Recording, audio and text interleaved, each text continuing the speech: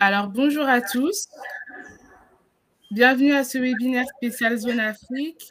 Avant de commencer, j'aimerais savoir si vous me voyez et si vous m'entendez bien, s'il vous plaît. Donc, il y a un chat. Vous pouvez écrire sur le chat si vous m'entendez ou si vous me voyez bien.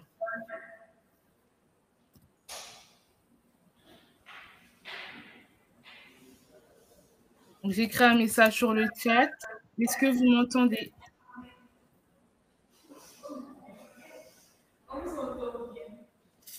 Alors là, j'écris un message pour les autres personnes qui sont sur le, chat. Très bien. Merci David Ayou, merci Jean-Céleste.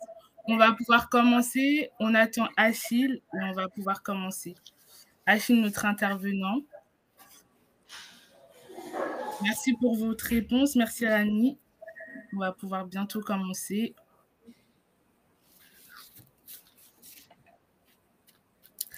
Alors, Achille, tu ne vois pas hein, pour le moment.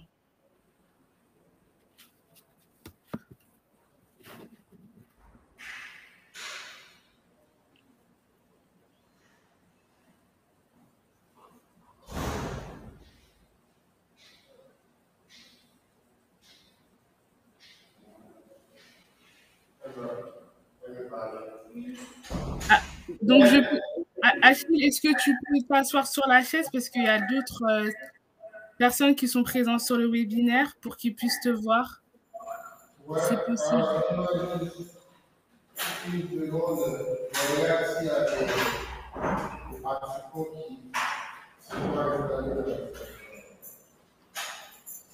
Donc pour pouvoir commencer, euh, j'attends de, de, te voir sous, sous la caméra, de te voir assis sur la chaise, s'il te plaît.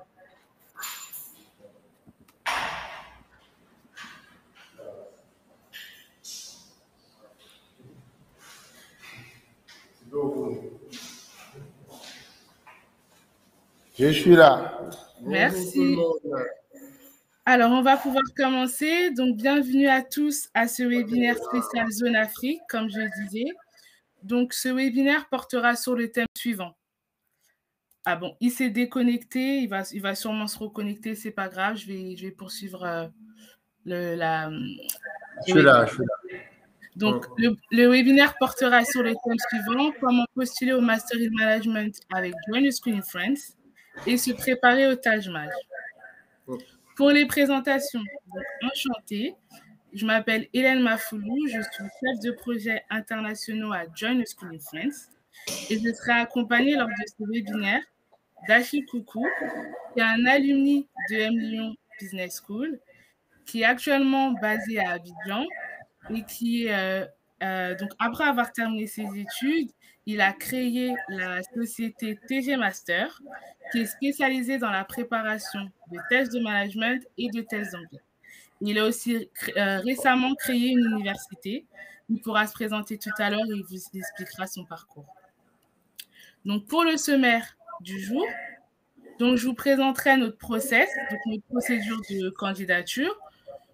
Euh, je, vous, je vous donnerai l'ensemble des informations et ensuite, je vous donnerai également des astuces pour pouvoir se démarquer et mettre en avant sa candidature. Ensuite, Achille nous prendra la main. Il vous fera part de son expérience au Master in Management à UM Lyon Business School et vous conseillera sur la préparation au Taj Et enfin, on aura un temps d'échange où vous pourrez, euh, on pourra répondre à vos questions. Donc, il y a un chat. Vous pouvez, euh, lors de notre présentation, poser vos questions et ensuite, on y reviendra à la fin pour, euh, pour répondre à l'ensemble de, de, vos questions. Alors, du coup, qu'est-ce que Join a Screening Friends Donc, Join a Screening Friends, anciennement appelé SAI, donc Service des admissions internationales. On est un service de la Chambre de commerce de Paris et de France et on existe depuis plus de 30 ans maintenant. On va recruter des étudiants internationaux pour le Master in Management de ces cinq écoles, donc de HEC Paris, ESCP Business School, Odense Business School, Union Business School et Schema Business School. Donc, il y a plusieurs avantages en postulant via Join Your Screen Friends. Le premier avantage, vous postulez à cinq écoles de commerce très bien classées. avec seulement une seule candidature. Donc, il y a aussi un avantage financier. Vous ne payez qu'une seule fois les frais d'inscription. Donc, nos frais d'inscription sont de 200 euros. Vous les payez qu'une seule fois. Alors que si vous passez par les voies directes des écoles, ben forcément, vous allez payer plusieurs fois les frais d'inscription. Donc, il y a un avantage financier. Il y a aussi un autre avantage, c'est que vous passez qu'un seul entretien si vous êtes admissible à au moins une de ces cinq écoles.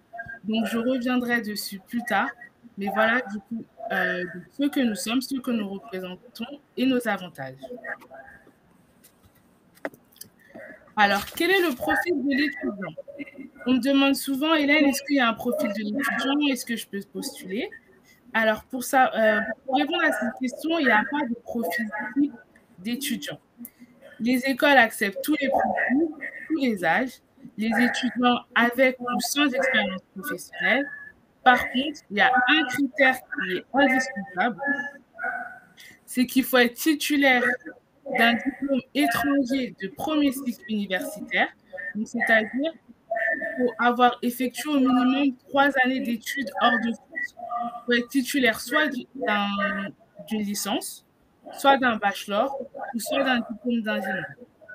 Et si vous n'êtes pas encore diplômé, il faut au moins que vous soyez dans votre dernière année d'études. Donc ça, c'est vraiment le critère indispensable pour pouvoir postuler au Master in Management via la voie John School in Donc, avoir effectué au moins trois années d'études hors de France, être titulaire soit d'un bachelor, d'une licence ou d'un diplôme d'ingénieur.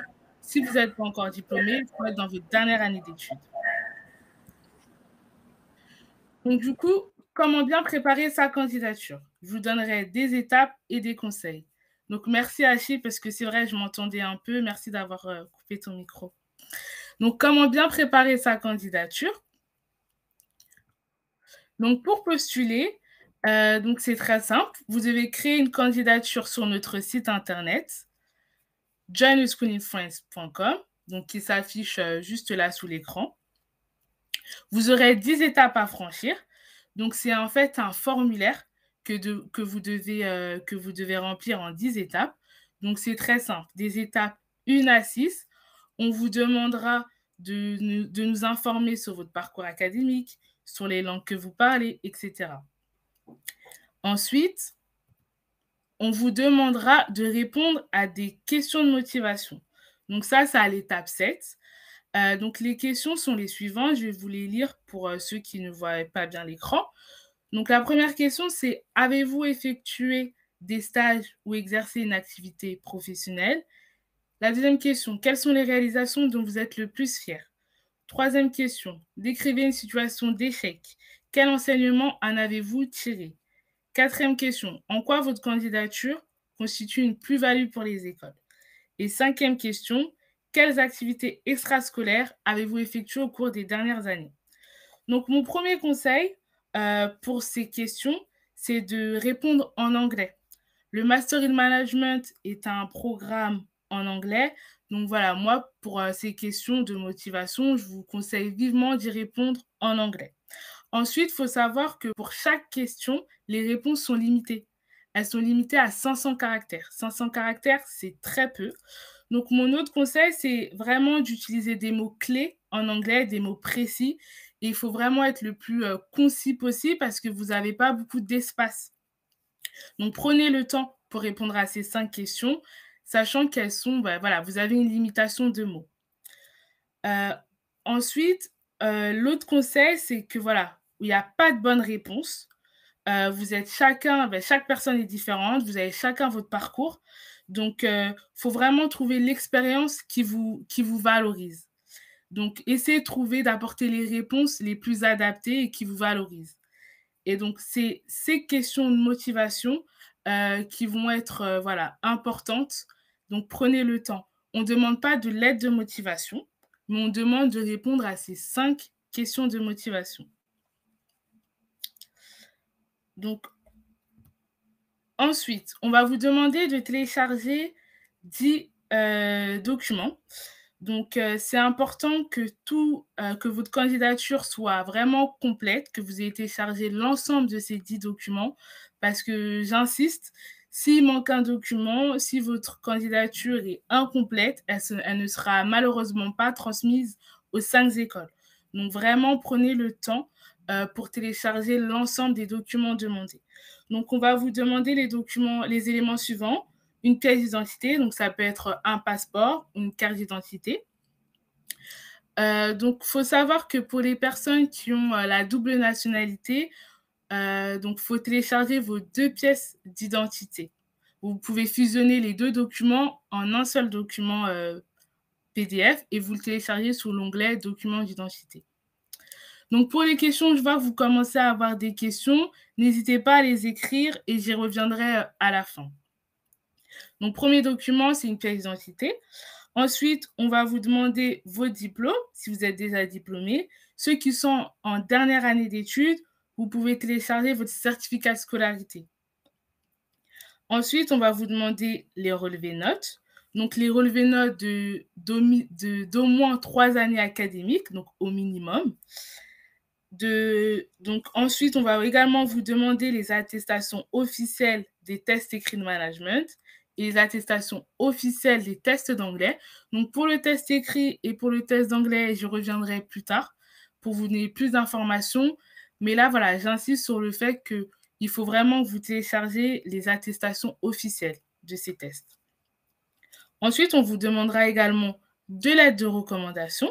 Donc, ça peut être des lettres académiques, donc vous pouvez demander à vos, euh, à vos professeurs, ou des lettres euh, de recommandation professionnelles.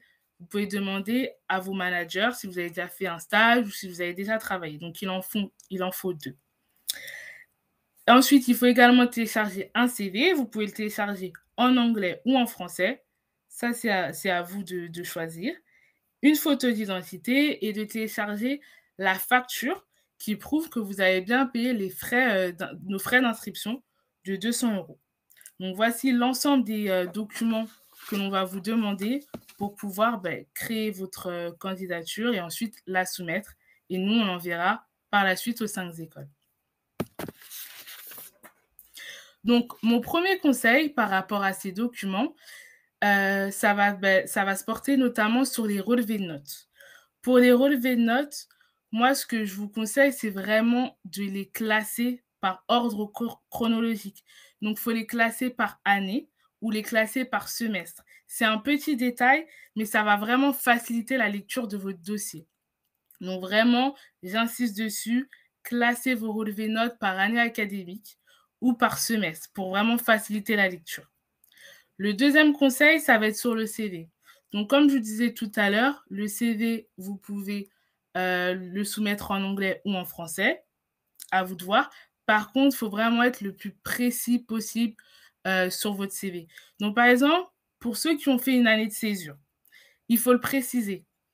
Il faut dire de telle année à telle année, j'ai fait une année de césure. Si vous avez fait des stages, il faut préciser dans quelle ville, la durée, euh, voilà, le pays. Il faut vraiment être le plus précis parce que plus on a d'éléments, plus l'école, ben voilà, ça, ça va vous, plus l'école va vous connaître, donc, c'est mieux, ça vous, ça, vous, ça vous valorise.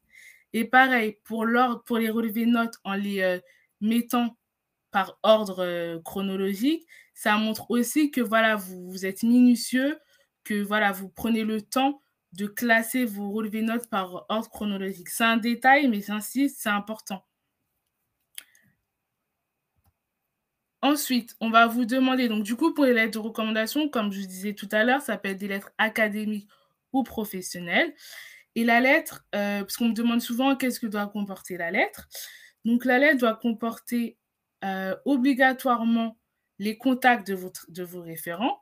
Donc ça peut être les contacts de votre manager ou vos professeurs, donc adresse mail, numéro de téléphone, sa position. Il faut qu'on voit clairement la position de votre référence, qui fait actuellement. Ensuite, bien évidemment, votre nom et prénom doit être visible sur la, sur la lettre. Et ensuite, si possible, vous pouvez télécharger l'entête donc de votre université ou de votre entreprise et euh, avoir le cachet ou le tampon de votre euh, de, l'université ou de, l'entreprise. Mais vraiment, les éléments importants qu'on doit avoir, c'est votre nom, votre prénom et les contacts de votre référent. Après, pour les lettres de recommandation, euh, il n'y a pas d'obligation pour la langue. Elle peut être écrite en anglais ou en français. Ensuite, la preuve de paiement, comme je vous disais tout à l'heure, c'est euh, donc du coup la facture. Euh, après avoir payé les frais d'inscription de 200 euros, vous allez recevoir par mail cette facture. Donc, c'est bien celle-là qu'il faut télécharger avec le logo de la CCI Paris-de-France. Il y aura votre nom et prénom qui doit être visible et la mention de 200 euros. Pour information, le paiement s'effectue seulement par carte bancaire. Donc, ensuite, tout à l'heure, je vous parlais des tests écrits. Donc, j'y viens. Pour les tests écrits, on accepte ces trois types de tests. Donc, le GMAT, le GRE et le TAJMAJ. Donc, pour ceux qui ne sont pas au courant, euh, le, GMAT et le GRE sont des tests que vous passez en anglais. Donc, c'est des tests de management euh, qui sont écrits en anglais, alors que le TAJMAJ, c'est un test de management en français. Donc, euh, bien évidemment, mon premier conseil, c'est euh, de, voilà, pour votre confort, les personnes francophones, c'est de passer le Taj Après, bien évidemment, vous pouvez passer le test qui vous, convient. La deuxième information, c'est que le DMAT et le Jury sont des tests euh, qui peuvent être effectués en ligne, alors que le Taj c'est des tests qui se passent dans des centres en présentiel. Donc ça aussi, c'est un élément important à savoir. Euh, pour le Taj faut enfin, pour les tests écrits, il faut savoir que voilà, c'est pas nous, Join School in France, qui organisons les tests écrits. Il y a des organismes euh, ben, qui s'en occupent. Du coup, moi, mon conseil, c'est de regarder en premier quel test vous correspond et ensuite à quelle date vous pouvez passer les tests. Pour le Taj il y a des sessions. Déjà, euh, il y a des dates de sessions qui sont déjà définies. Donc, en, allant sur le site de la FNEJ, donc c'est l'organisme qui, euh, qui s'occupe du Taj vous pouvez voir toutes les dates. Euh, donc, voilà, vous pouvez voir où est-ce que ça se passe, quand est-ce que ça se passe, et il faut s'inscrire. Le DMAT et le jury, pareil, vous pouvez vous rendre sur le site et euh, vous, vous, informer sur les, les, sessions. Et voilà, ce qui est important à savoir, c'est que certains de ces tests peuvent être passés en ligne, alors que d'autres sont en présentiel. L'autre information aussi qui est importante à savoir, c'est que, alors là, on me dit qu'il y a un problème de connexion. Pour moi, ça, va. Je, n'ai pas de problème de connexion. Euh, de mon côté, ça va. Euh, s'il y a d'autres problèmes de connexion, n'hésitez pas à, écrire un message sur le chat. Mais pour moi, j'ai l'impression que voilà, ça va. Merci euh, Jamala pour cette information. Donc ensuite, l'autre information qui est importante de savoir, c'est le Taj euh, il y a des dates et donc du coup, vous ne pouvez pas le passer euh, à n'importe quelle date. Vous pouvez seulement le passer deux fois dans l'année, euh, notamment dans les pays en Afrique. Il y a une première session vers novembre-décembre et une deuxième session vers février-mars. Alors que pour le DMAT et le GRE, c'est un peu différent. Le GRE, vous pouvez le passer tous les 21 jours jusqu'à 5 fois dans l'année, alors que les GMAT, vous pouvez passer tous les 16 jours jusqu'à 5 fois dans l'année. Donc ça, c'est aussi important euh, à, savoir et à prendre en compte, du coup, dans le choix du, test de management. Pour le test d'anglais. Alors, pour le test d'anglais, on accepte les tests suivants. Donc, le TOEFL, le TOEIC, le LIELTS et le Cambridge. Euh, donc, le test d'anglais, il n'est pas obligatoire, pour les personnes qui sont de natifs anglophones et pour ceux qui ont étudié euh, en anglais lors de leurs études supérieures. Donc, si vous êtes dans ce cas-là, le test d'anglais n'est pas obligatoire, mais vous, devez nous prouver que vous êtes soit natif anglophone en téléchargeant votre pièce d'identité, ou soit que vous avez étudié en anglais pendant vos études supérieures, et là, dans ce cas-là, vous pouvez télécharger ben, le relevé notes. Et donc, ce document justificatif, vous le téléchargez sous l'onglet test d'anglais. Pour les autres, donc bien évidemment, le test d'anglais est obligatoire. Euh, donc, pour le test d'anglais, c'est la même chose que pour le test de management. Nous, John School France, on, le, on, organise, pas ces tests-là.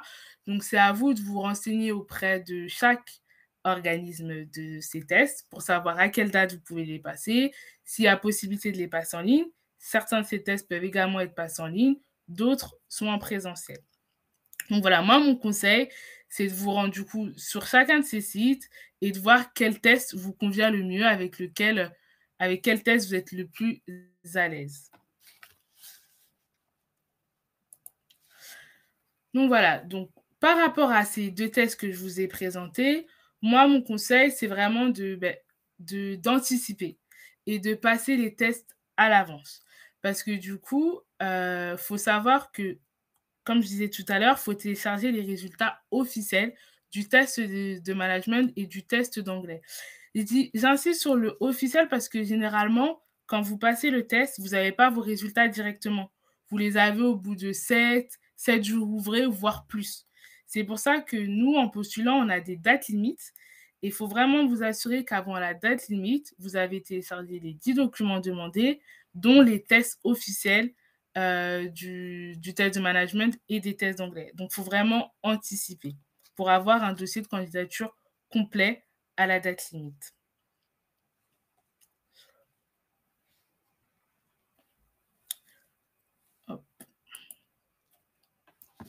Donc, en ce qui concerne les résultats d'admissibilité, donc du coup, la première étape, comme je disais bah, tout à l'heure, c'est vous créez votre dossier de candidature sur notre site internet, vous téléchargez les documents, vous répondez aux cinq questions de motivation.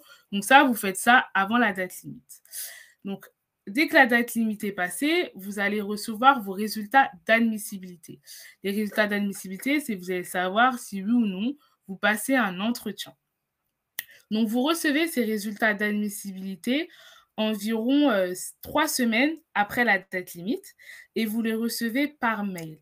Donc, nous, l'équipe Join School in France, on va vous envoyer un mail avec le lien des cinq écoles. Vous allez vous connecter sur chacun des liens en mettant votre nom, votre prénom, votre date de naissance. Et ensuite, vous allez voir si vous avez été admissible à HEC, à ESCP, à Schema, à et à Lyon. Vous vous connectez euh, dans les liens des cinq, euh, des cinq écoles pour avoir vos résultats d'admissibilité.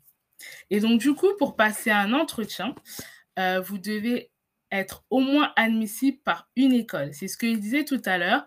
L'avantage en postulant via Join School in Friends, c'est que vous, devez, vous passez un seul entretien, que vous soyez admissible aux cinq écoles ou à une école, vous passez qu'un seul entretien. Donc concrètement, si vous avez été rendu admissible à HEC, Schema et ESCP, donc à trois écoles, vous allez passer qu'un seul entretien et vos résultats, vos, les, enfin, les résultats de l'entretien, vos notes d'entretien seront envoyées à ces trois écoles, donc aux écoles qui vous ont rendu admissible. Donc du coup, comment se passe l'entretien et comment bien préparer son entretien? Donc les entretiens sont organisés à travers le monde. Euh, donc c'est aussi ça l'avantage en postulant via John School, John School in France, c'est que l'entretien est organisé partout dans le monde, près de chez vous. Donc nous, on va tout faire pour organiser l'entretien dans l'un de nos centres partenaires. Donc ça peut être dans un campus France, dans une alliance française, dans une CC, donc dans une chambre de commerce et d'industrie, dans une ambassade française. Donc on a plein de partenaires un peu partout dans le monde et on va tout faire pour l'organiser au plus près de vous.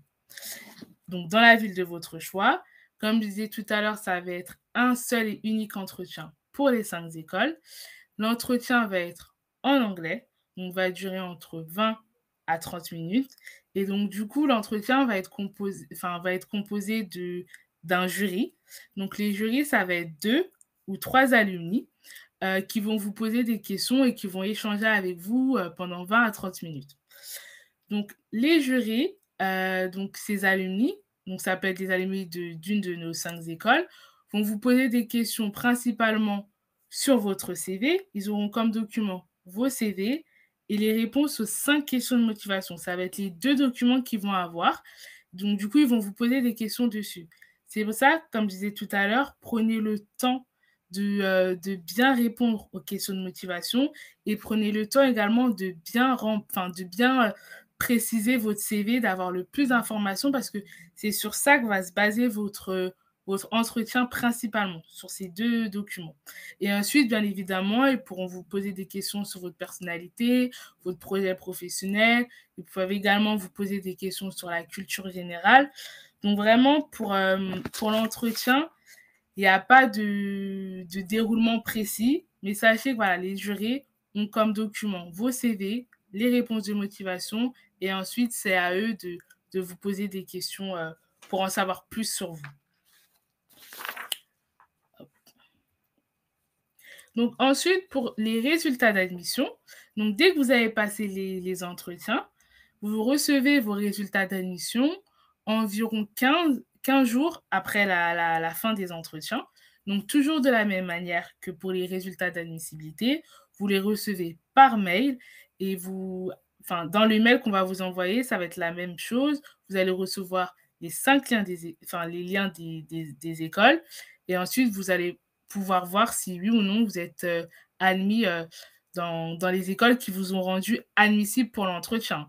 Donc, par exemple, si tout à l'heure, vous avez été rendu euh, admissible à HEC, Schema et EM Lyon, donc auprès de ces trois écoles, vous passez un entretien avec les jurés et ensuite, 15 jours après, vous recevez un mail et vous allez vous connecter auprès de ces trois sites pour avoir vos résultats d'admission ben, définitifs. Donc, en, ce qui concerne notre calendrier, pour ceux qui seraient intéressés, euh, donc pour cette année, euh, donc pardon, c'est le calendrier d'admission 2021-2022. Hein. Donc pour le, notre calendrier, actuellement, on est à la troisième session. Donc la date limite pour postuler, c'était le 3 mars. Pour ceux qui n'ont pas encore créé euh, leur, leur candidature, vous pouvez toujours postuler. Il nous reste une session cette année. Euh, qui est la session 4. Et vous aurez jusqu'au 2 mai pour euh, pouvoir créer votre candidature et la compléter. Donc la date limite de la session 4, c'est le 2 mai. Ensuite, euh, donc pour ces candidats de la session 4, vous aurez vos résultats d'admissibilité à l'entretien fin mai. La période d'entretien, c'est environ deux semaines, donc du 27 mai au 7 juin. Les résultats d'admission, mi-juin. Pour ceux qui ont déjà postulé à la session 3. Donc la date limite, comme je disais tout à l'heure, c'est le 3 mars. Vous aurez vos résultats d'admissibilité à l'entretien fin mars. Donc fin mars, vous saurez pour quelle école vous êtes admissible. Vous avez passé un entretien. La période d'entretien sera entre le 31 mars et le 13 avril. Et ensuite, vos résultats d'admission seront fin avril. Donc fin avril, vous allez pouvoir savoir dans quelle école euh, vous allez être euh, admis, euh, enfin vous allez intégrer l'année prochaine en septembre-octobre 2022. Donc forcément, plus tôt vous postulez, plus tôt vous avez vos résultats d'admission, plus tôt vous pouvez préparer votre, votre venue en France. Donc pour résumer, notre processus de sélection, c'est le suivant. Première étape, vous postulez via journalschoolfriends.com, vous créez votre candidature, vous téléchargez les documents demandés, vous répondez aux cinq questions de motivation. Deuxième étape, les écoles décident si ou non vous êtes admissible à l'entretien. Troisième étape, félicitations. Vous avez passé votre entretien, vous êtes, enfin, vous êtes convoqué pardon, à l'entretien. Donc, ça peut être en présentiel ou en ligne, mais on fait tout pour le maintenir euh, en présentiel. Et quatrième étape, après avoir passé votre entretien, vous, vous recevez vos résultats d'admission. Donc voilà, mon dernier conseil pour ceux qui n'ont toujours pas créé leur dossier, c'est voilà, d'anticiper parce que ça prend du temps de rassembler les documents, notamment les lettres de recommandation, de passer les tests de management et d'anglais. Ça prend du temps pour avoir vos résultats officiels. Donc, anticiper pour être sûr de postuler avant la date limite. Donc, voilà pour la, présentation euh, Join the Screen Friends. Maintenant, je vais pouvoir laisser la main à Achille Coucou notre intervenant qui va se présenter et vous, et vous donner des conseils pour le Taj Merci pour votre attention. Merci Hélène et euh, merci à tous les 19, toutes les 19 personnes connectées euh, dans la salle. Nous sommes euh, à peu près une quinzaine hein, Voilà, on est 14 exactement dans la salle. Super. Et voilà, ici à TG Master au campus d'Abidjan. Donc, je suis Achille Coucou. Je présente ce webinaire avec Hélène Mafoulou. Moi, je suis le CEO et cofondateur de TG Master. J'ai fait un diplôme d'ingénieur en 2007 à l'INPHB de Yamoussoukro en Côte d'Ivoire, précédé de deux années de classe préparatoire, mathématiques les sciences de l'ingénieur. Euh, et à l'issue de ce diplôme d'ingénieur, euh, j'étais pas très attiré par la technique, donc l'électricité ou l'électrotechnique que j'avais étudié. Et j'ai entendu parler des écoles du Joining School, donc anciennement SAI. C'est comme ça que j'ai fait la candidature automatiquement sous réserve d'obtention du diplôme d'ingénieur. Et dès que je l'ai obtenu, je suis parti en France. Donc, j'ai intégré EM Lyon après avoir passé le Taj un dossier, un entretien. Euh, à notre époque, euh, je crois que c'était la dernière année en 2007 où euh, le TOEIC n'était pas obligatoire. Donc, on avait passé les tests juste avec le Taj. Aujourd'hui, le TOEIC est obligatoire. ça peut être une bonne chose parce que ça permet à des candidats de se démarquer. Donc, j'ai fait le master grande école en deux ans et demi et j'ai commencé à travailler à partir de janvier 2010 et j'ai obtenu le diplôme lors de la cérémonie de diplomation en 2010 à Lyon, programme grande école.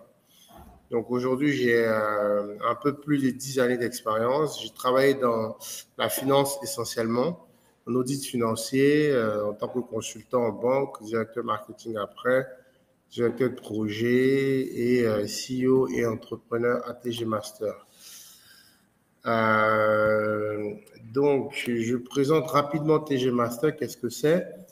Euh, Quand nous avons intégré les écoles en France, on s'est rendu compte que les candidats dans certains pays, dont la France, avaient des structures qui les aidaient à se préparer, à réussir les différents tests. Donc, il y en a plein que je ne citerai pas forcément. Et euh, TG Master, nous avions réussi les tests. Donc, euh, parmi les fondateurs initiaux de TG Master, on avait donc deux, deux diplômés HEC Paris, donc un qui avait obtenu 450 points au Taj et un autre qui avait obtenu 403 points.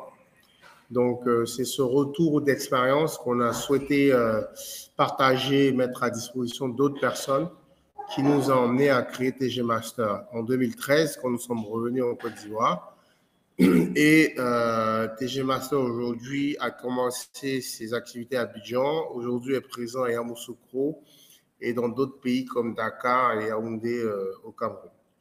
Euh, et aujourd'hui, depuis ces huit années d'existence, bientôt neuf, TG Master a permis à nombreux candidats d'obtenir d'excellents scores notamment 447 euh, points pour Wifi Dakotoni, une performance euh, jamais égalée qui a été obtenue en l'espace d'un mois seulement, grâce notamment à TG Master. TG Master aujourd'hui, c'est plus de 300 personnes, euh, donc je souhaite à tout le monde d'avoir 447, voire plus. Hein. Il paraît que le record national est de 483 points. Donc, vous pouvez faire plus. TG Master aujourd'hui, c'est plus de 300 candidats admis dans les top écoles, notamment euh, celle du Joining School in France, avec 30 admis à HEC Paris. Euh, c'est top. Et puis, donc, nous faisons des formations à la fois en salle, euh, comme aujourd'hui, nous aurons un test blanc juste après le webinaire à Abidjan et à Yamoussoukro. Nous faisons aussi des formations à distance. On prépare des candidats euh, donc à distance avec des coachs à la fois en France comme ici en Côte d'Ivoire, des candidats au Maroc, en Tunisie, au Mali, au Sénégal et même en Chine. Voilà, euh, qui ont été tous qui ont tous été admis. Qu'est-ce que c'est que le Taj Mahal? Donc le Taj Mahal, c'est un test d'aptitude qui est organisé par la, la FNEJ euh, la Fédération nationale pour les enseignements en gestion d'entreprise. Le tâche ne nécessite pas théoriquement euh, des connaissances spécifiques parce que c'est un QCM, donc c'est un test d'aptitude. Ce n'est pas un test d'intelligence, ce n'est pas un test, euh, un examen scolaire, c'est un test d'aptitude pour détecter les aptitudes des candidats. Il est sous forme de QCM euh, avec 600 points au total. Donc, on a 90 questions en 6 épreuves, 20 minutes par épreuve, ça fait 2 heures de temps. Euh, et les épreuves, du moins, permettent de mesurer les aptitudes en, en verbal, tout ce qui est résolution de problèmes et raisonnement logique. En général, il y a deux sessions en Afrique par an, novembre-décembre, donc au deuxième semestre et au premier semestre. Donc, euh, le prochain test aura lieu le samedi prochain à Abidjan. quelques points de difficulté au Taj Mahal. donc, le Taj Mahal, il faut savoir que c'est un test de niveau troisième, seconde, maximum première. Et comme il faut avoir un bac plus 3 avant de postuler pour les écoles en master, euh, on suppose que tout le monde ayant eu un bac plus 3 ou plus a quand même fait la classe de seconde, première, terminale, a eu le bac, etc. Donc au Taj on ne parle pas de normes complexes, on ne parle pas de rotation ici, simple. Mais ce qui pourrait être difficile au Taj c'est que euh, la gestion du temps est très euh, compliquée puisqu'on a 15 questions 20 minutes. Donc, euh, ça nous fait une minute 20 secondes par question. On n'a pas droit de calculatrice, on n'a pas droit des règles, équerres, rapporteurs, etc. pour mesurer les angles. Donc, il y a la gestion du stress aussi qui est très forte parce que la pression est présente durant tout le test euh, le chrono, euh, les gens autour de soi qui euh, répondent rapidement et nous qui sommes aussi parfois stressés. Il y a la gestion de la fatigue parce que c'est deux heures de temps avec du temps supplémentaire. Pour ceux qui ont déjà passé le test, vous arrivez un peu plus tôt, on remplit des informations personnelles, on vous donne des consignes. Tout ça peut durer trois heures. Donc, à un moment donné, on sent la fatigue. C'est pour ça qu'il faut être requinqué et physiquement euh, au top. Et à la gestion de la concurrence, parce que c'est un texte qui est administré partout dans le monde.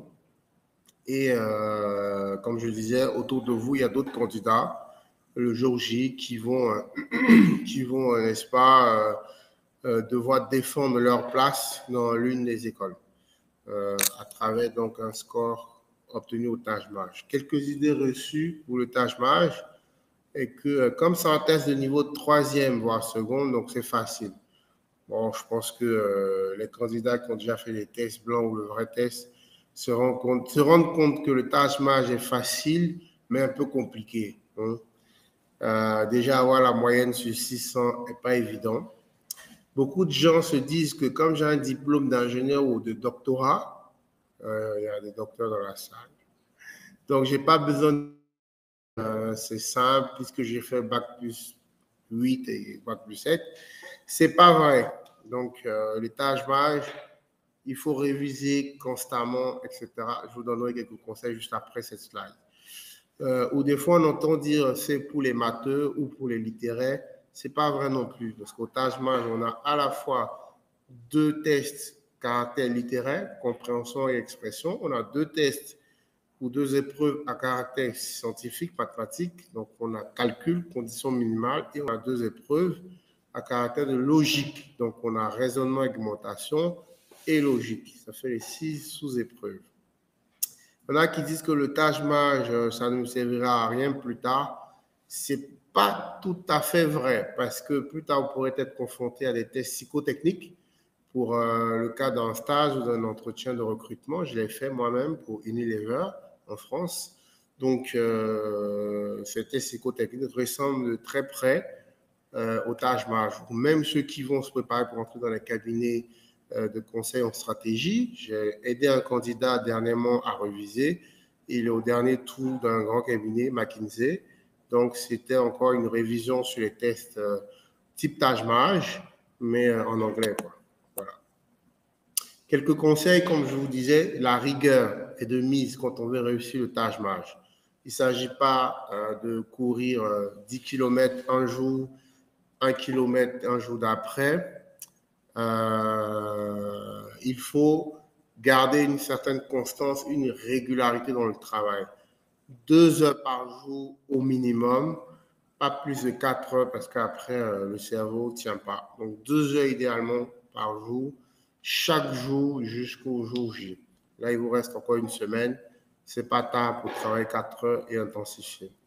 Il euh, faut se préparer un à trois mois sans relâche. Donc, il ne faut pas commencer trop tôt ni trop tard. Euh, un mois, c'est possible parce qu'on a eu le cas de, de quelqu'un qui, Wilfried, qui a 447 points en un mois, qui découvrait le Taj Mahal. Hein. Euh, avoir confiance en soi, être bien préparé pour ne pas douter de soi. Vous dire que ce n'est qu'un test. Vous avez réussi le bac, un master, une licence, un diplôme d'ingénieur, un diplôme de doctorat. Donc, il n'y a pas le Taj Mahal. Le Taj ne devrait pas pouvoir vous ébranler. OK? Vous êtes des durs.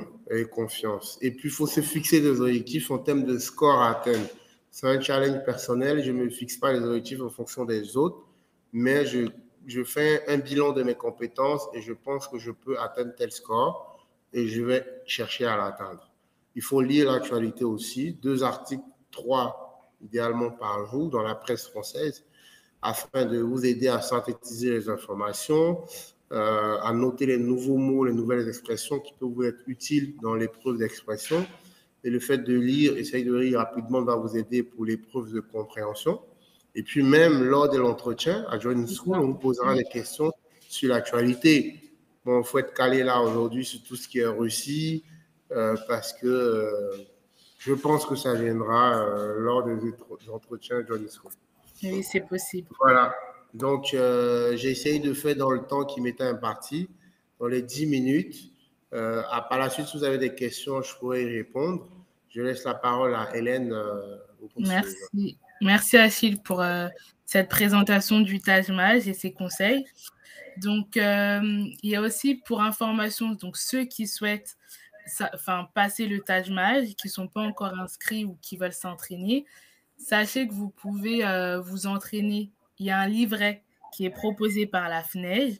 Donc là, il y a le, lien pour avoir accès à ce livret. Mais sachez que après cette présentation, je vous enverrai un mail euh, avec ce, lien pour vous entraîner. Donc pour le calendrier euh, du Taj Mahal, donc les sessions en Afrique, donc, euh, il y avait en février Tunisie, le Maroc, Sénégal, c'était hier. Aujourd'hui, c'était euh, le Cameroun ce matin. Côte d'Ivoire, du coup, c'est la semaine prochaine.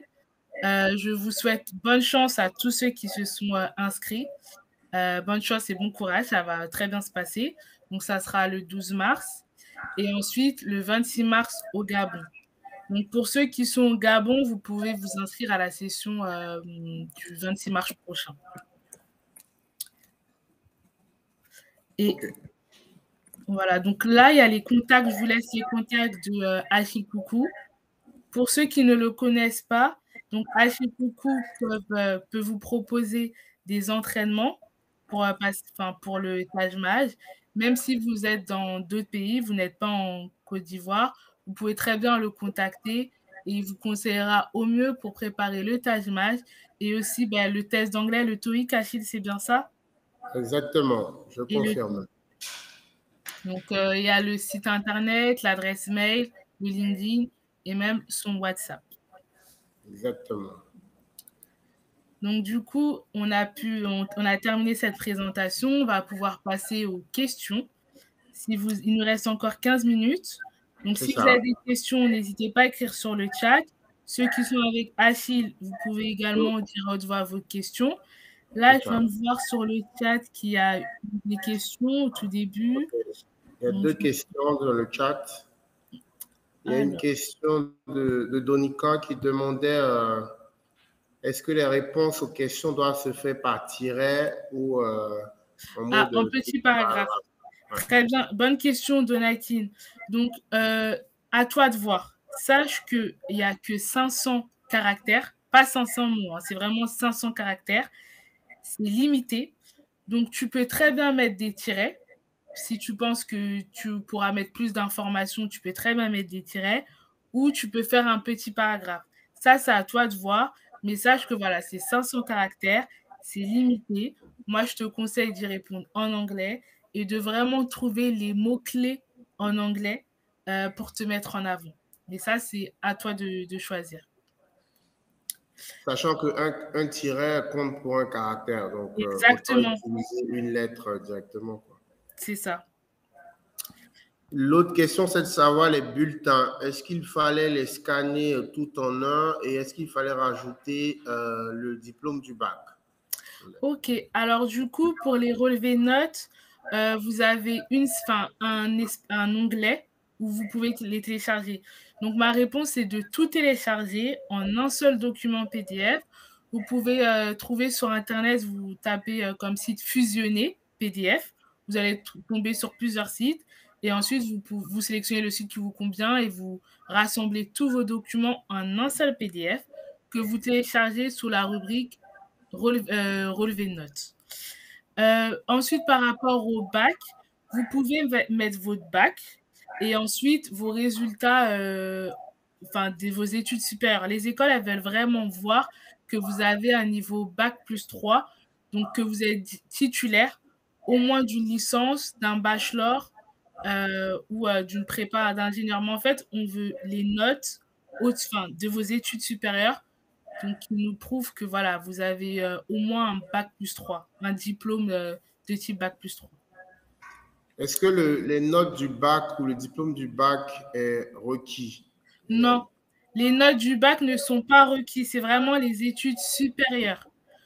Pour postuler au Master in Management, il faut que vous ayez, comme je disais tout à l'heure, euh, que vous soyez titulaire d'un bac plus 3.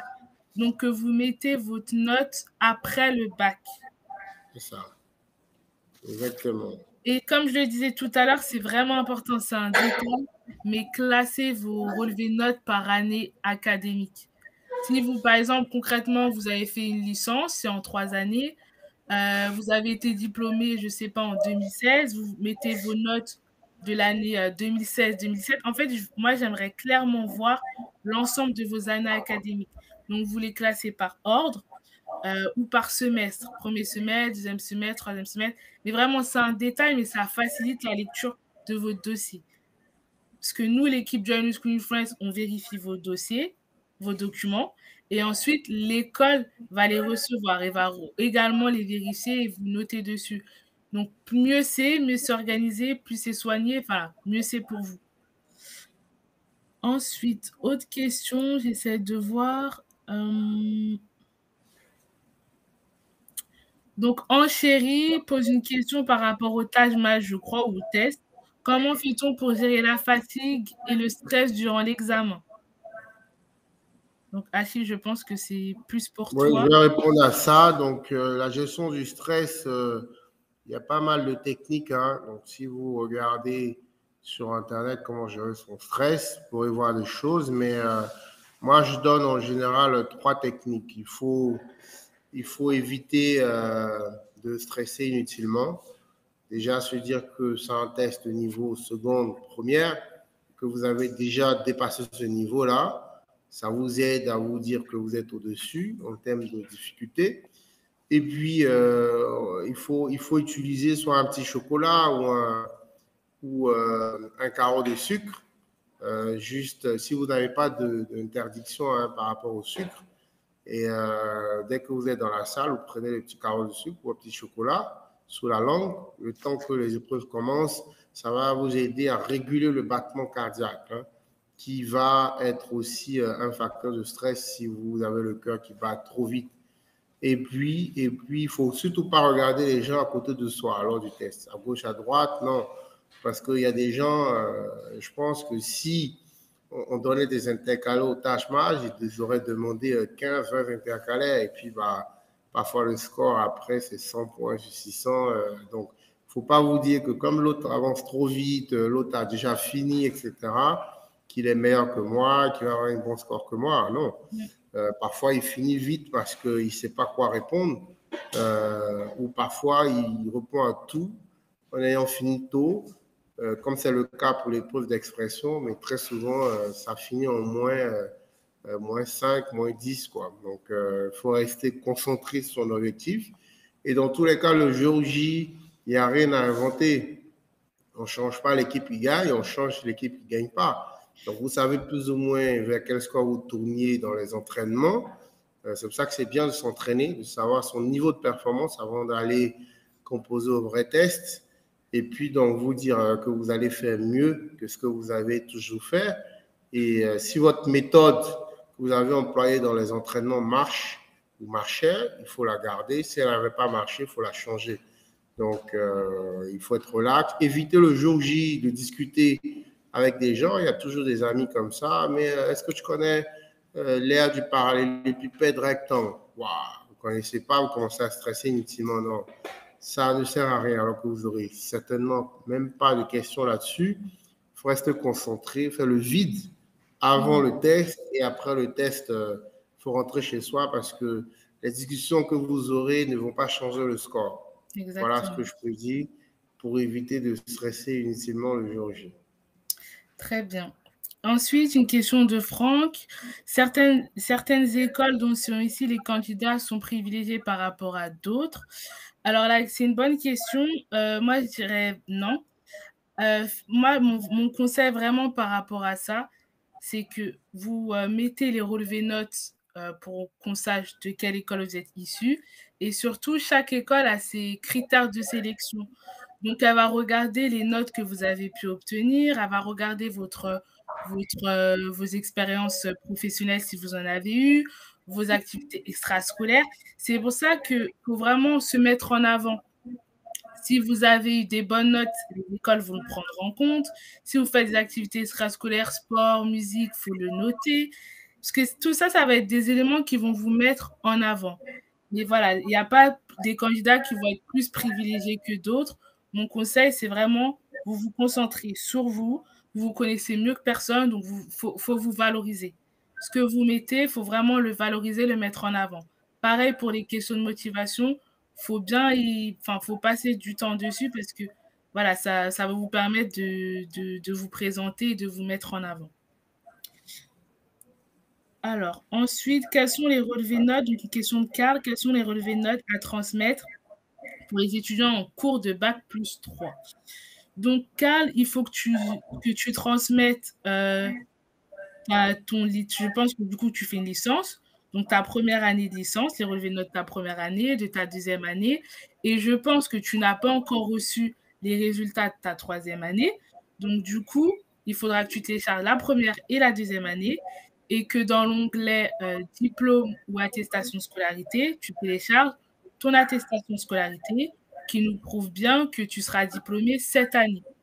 Donc, bien évidemment, pour ceux qui sont en dernière année d'études, euh, vous n'avez pas vos derniers, relevés de notes. Ce n'est pas grave, mais vous nous mettez tous les relevés de notes que vous avez, donc la première et la deuxième année. Et ensuite, vous téléchargez votre attestation scolarité qui prouve bien que vous allez être diplômé cette année. Ensuite, euh, Franck demande pour les différents stages effectués, nous devons scanner les contrats de travail pour prouver le stage. Non, vous, n'êtes pas obligé de scanner les contrats de travail. Dans le CV, vous pouvez très bien mettre que vous avez fait un stage là ou euh, voilà, dans telle entreprise. Après, ça ne sert à rien de mentir parce que vous devez également télécharger des lettres de recommandation. Dans les lettres de recommandation, il y aura les contacts de votre référent. Les écoles ont la possibilité d'appeler le référent pour avoir plus d'informations sur vous. Donc, je vous déconseille d'inventer euh, des stages, etc.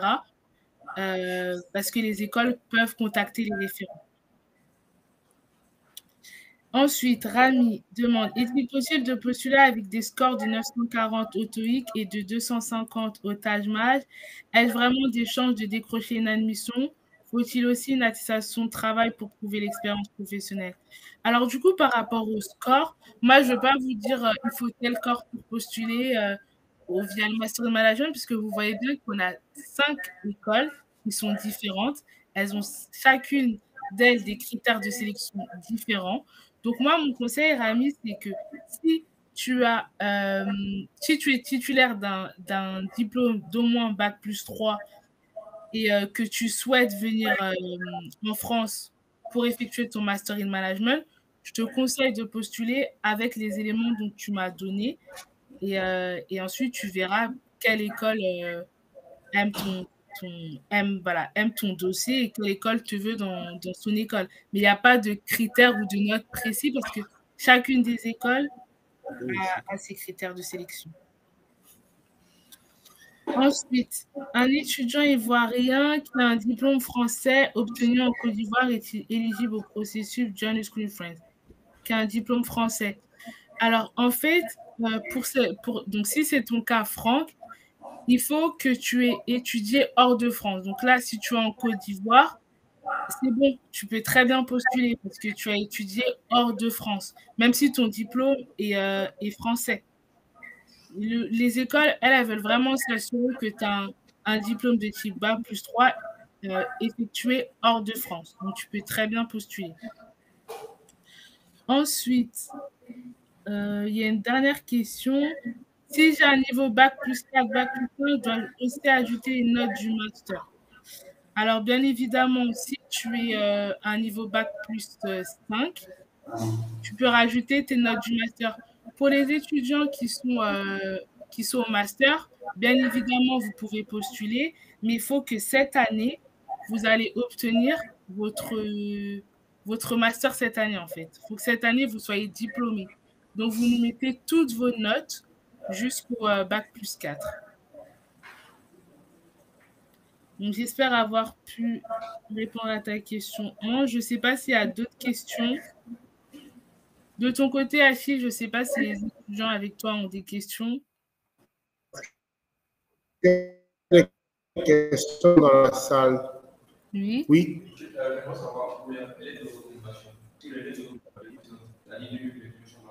Alors, c'est une bonne question. Euh, c'est un candidat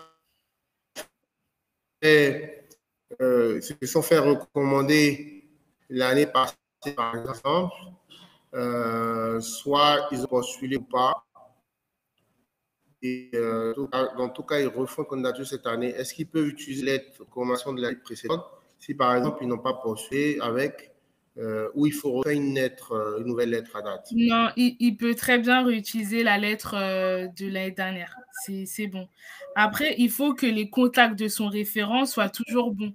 Donc, on est toujours le moyen de le contacter mais il peut très bien réutiliser la même lettre de recommandation.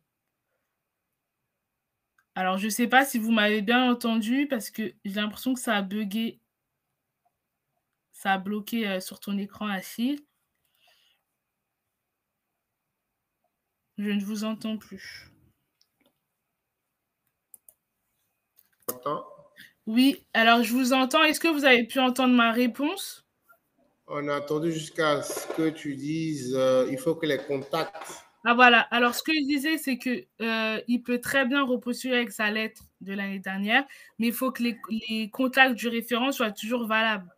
Que si les écoles veulent le contacter, euh, il y a moyen de contacter le référent. C'est ça. C'est bon? Autre question? Non, il n'y a pas de question ok, alors là, euh, ça va bientôt être euh, la fin du webinaire. Si vous mhm. avez d'autres questions, n'hésitez pas à m'envoyer un message. alors, il y a une question dans le chat, Hélène, désolé de te couper. Ah à qui adresser les lettres de recommandation? À Join a School in France. C'est ça. Vous pouvez les adresser à Join a School in France. SAI, c'est la même chose. Donc, on va devoir euh, terminer ce webinaire. Donc, je vous remercie pour votre attention. J'espère avoir pu répondre à un maximum des questions. Merci beaucoup également, Achille, pour euh, ton intervention qui a pu aider euh, nombreux candidats. Si vous avez des questions, n'hésitez pas à envoyer un mail à Join Screen Friends. On a aussi un WhatsApp. Pareil, ici, il y a les contacts de euh, Achille Coucou de TG Master si vous souhaitez le contacter. Et pour tous ceux qui vont passer le Taj Mahal prochainement, je vous souhaite un bon courage. Et ce que j'aimerais aussi, c'est que pour tous ceux qui ont déjà passé le test de Taj Mahal ou qui ont déjà leur résultat d'un test de management ou leur résultat de test d'anglais, veuillez m'envoyer un message parce que j'aimerais suivre votre dossier. Donc, pour ceux qui passent le 12 mars ou qui, sont déjà, euh, qui ont déjà passé le test en décembre, envoyez-moi un message. Euh, j'aimerais suivre votre dossier. Et euh, pour tous les autres, n'hésitez pas si vous avez d'autres questions, euh, j'y répondrai avec plaisir. En tout cas, merci beaucoup et à très bientôt. Bon samedi et bon après-midi. Au revoir. je, te fais voir, ah. je te fais voir la salle. Avec plaisir. Deux minutes. Bonjour. Bonjour. Merci pour votre attention. Merci pour votre attention et bon courage pour votre test blanc. À bientôt. Au revoir, Achille. Merci. Au revoir.